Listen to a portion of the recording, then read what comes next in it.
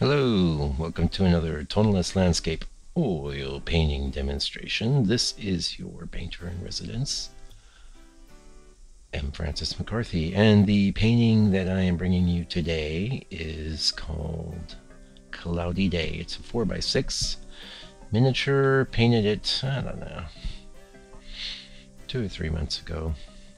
Quite like it though. I actually have it as the background on my um, desktop monitor, and um, I think it came out pretty good. It was uh, actually a bit of reference I had for quite a while. I was sort of attracted to these trees which had these like yellow flowers on them, um, and uh, not the kind of thing I usually would do because it's a I don't I, I like to do things that aren't real specific if that makes sense.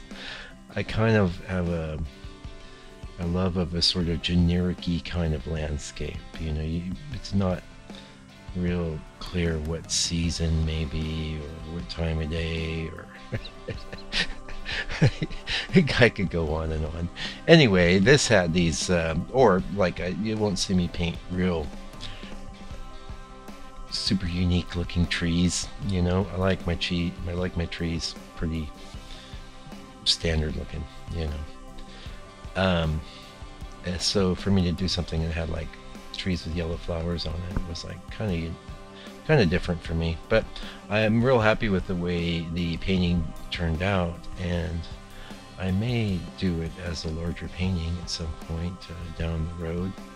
Um, good news is that my uh, the, the, the new studio that uh, I hope it's good news. I hope it gets actually built. But the new studio at the Quarry Art Center that I've already um, got a you know lease on. Um, not a lease I'm paying for, but you know I've already uh, had have an agreement to is getting built and it's going to have a much larger area to paint and a, a place where I can put a stand-up easel and uh, and maybe do some larger work. So I'm not sure how I'm going to videotape those yet. Uh, you're going to see my my old my old bald head somewhere in there, but uh, balding I should say anyway, I, have got I've got some motifs that I think would make really nice larger paintings, and um, the deal is with like much larger work, you really can't do it sitting down. It's kind of like playing a really raucous uh, song. You might need to stand up to really rock that guitar, you know. Anyway, um, I kind of wanted to uh, do a quick uh, sort of um, Art 101 overview today. Um, just to kind of catch up because I have so many videos now. I get a lot of requests for various information. Uh, so I'm just going to jump in. The types of boards that I paint on are what's called MDF out here and Masonite in the US. I used to work on um, actual marine ply, but I found it had too much of a propensity to warp. Not that into canvas, although as I work larger and larger, I might make that move. Um, I spend a lot of time um, texturizing my boards because I like to work on a texture. I don't like that texture to be too heavy. I think if you look at some of my paintings from about a year ago, you'll see that.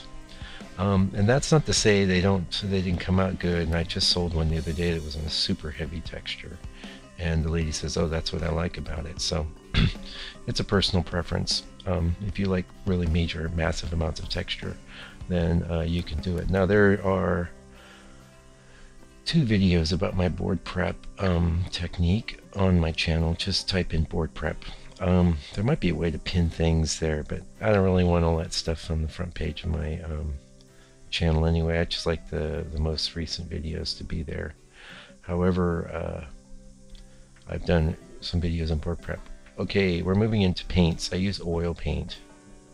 And my primary uh, paint supplier would be Gamblin. I think that's, for me, the best value for money, and best quality uh, that you can get for money.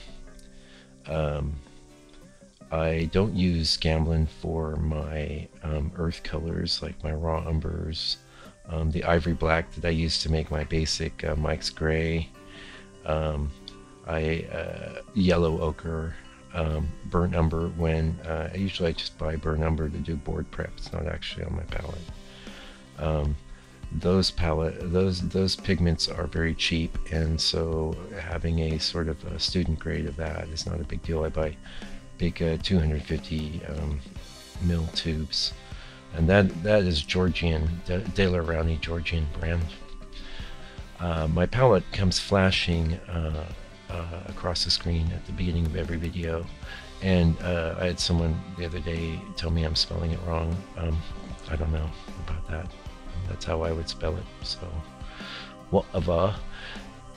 Moving on, brushes. Okay, I use the. I like mostly use the these tan brush you see right now. That's Robert Simmons Signet series, um, and I use flats, and I uh, I use sizes ranging from one, mostly two, on up through uh, 10s and 12s and things for bigger paintings.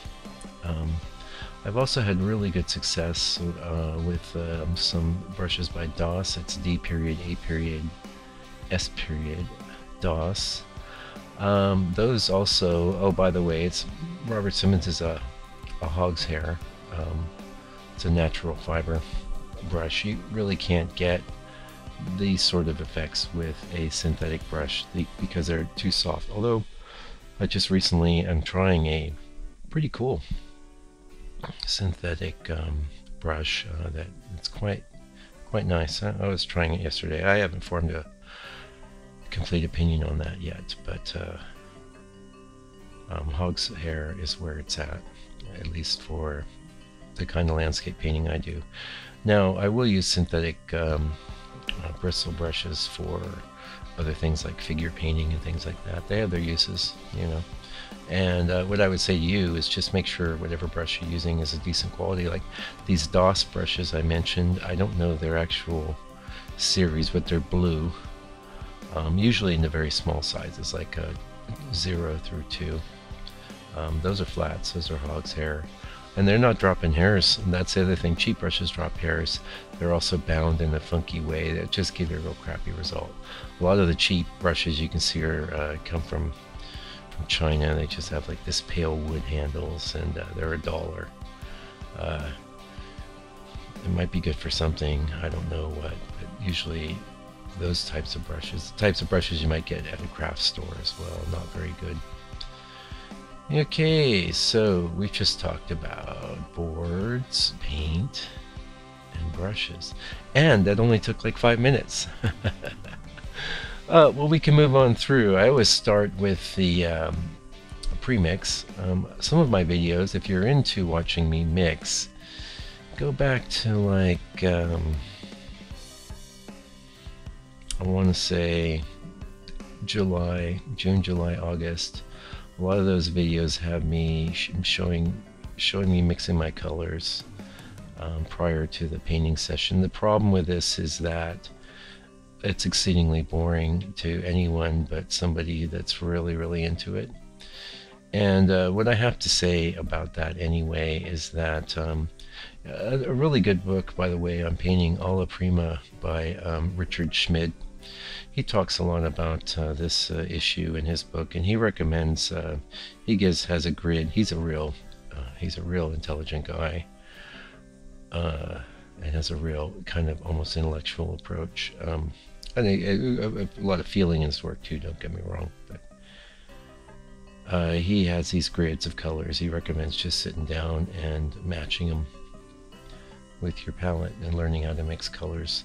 I would prefer to learn on the job, so to speak. So I will just set out with uh, with my colors to to hit the marks that are in my reference or in my imagination and my palette is complete for me. So with the palette uh, that I use, I can get almost any natural landscape type of effect.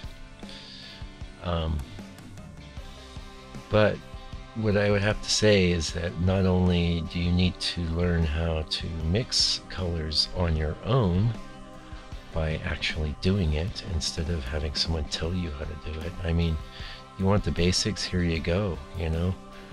Yellow and red make orange. Yellow and green make yellow green.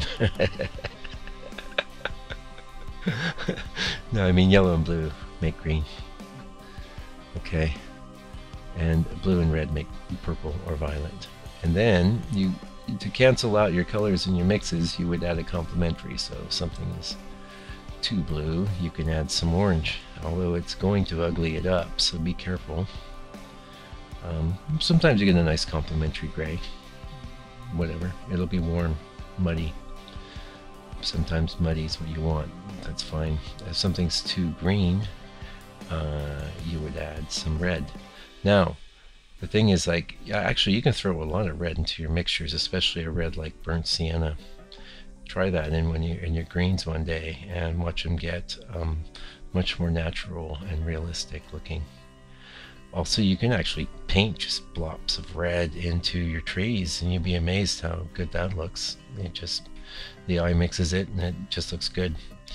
Um, what was the last one? The yellow purple thing, not that useful for uh, landscape painting, um, but uh, theoretically it works the same. If something's too yellow, you would add purple. I don't know what's going to happen. You will get, and you can get very uh, interesting sort of effects in the skies um, with yellows and purples, and you'd be amazed how well they mix together to give you uh, an, a really nice range of sort of pearlescent grays.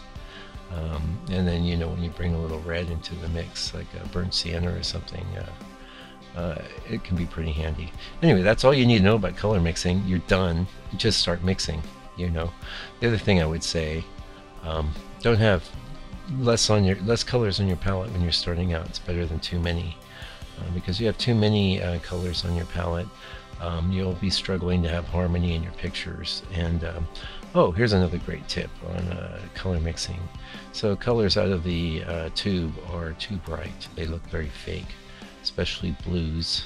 Um, this is why I have black on my palette. This is why I have raw umber on my palette. If it's if it needs some killing, that color, and you want to kill it in a warm way, use raw umber. If you want to kill it in a cool way, use black. So we're getting close to the end here. This is kind of a basics uh, little talk today. I will not and cannot, and I'm not interested in um, giving this information out on every single video I do. But there it is. Um, and yeah, periodically, I'm going to try and remember to uh, to repeat this information for new subscribers and people that are looking for it. Um, I know. I wish I was better at the whole YouTube thing. I would figure out maybe how to tag things and, and do this and that. But um, uh, there it is. And um, the best thing I can say too is if you really want to know how I paint and what I think, uh, you know, start with back in the hundred days of uh, tonalism um, in 1915. I mean 1950, 2015, and go forward from there. Anyway, I'll be back on the weekend with the Past Masters series. Uh, it's going to be pretty cool. So um, until then, please do me a favor and take good care and stay out of trouble.